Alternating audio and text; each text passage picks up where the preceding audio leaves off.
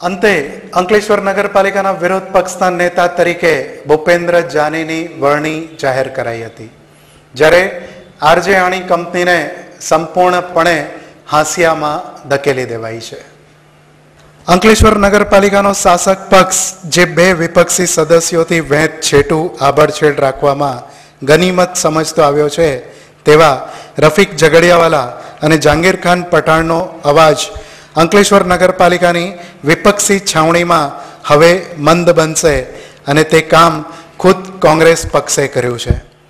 પ્રદેશ કોંગ્રેસ સમિતિએ આજરોજ જાહેર કરેલી એક યાદીમાં નગરપાલિકાના વિપક્ષના નેતા તરીકે ભૂપેન્દ્ર જાનીની વરણી કરી છે. તો ઉપનેતા તરીકે શરીફ કાનુંગાની પસંદગી કરી છે. તો દંડક તરીકે મીનાક્ષી પ્રકાશભાઈ વસાવાને કાર્યભાર સોંપાયો છે. ચૌદ સભ્યોનું પ્રતિનિધિત્વ ધરાવતી કોંગ્રેસ પાર્ટીએ અંકલેશ્વર નગરપાલિકામાં બે સક્રિય અને અભ્યાસુ એવા પીઢ નગરસેવકોની આજે બોલતી બંધ કરી દીધી છે. નગરપાલિકાના તાત્કાલિક પ્રમુખ મીનાબેન પટેલે પણ આ બંને વિપક્ષી સદસ્યો માટે બોર્ડમાં ખોટી મેથી માર્યા કરો છો તેવી નીચું નિવેદન કર્યું હતું.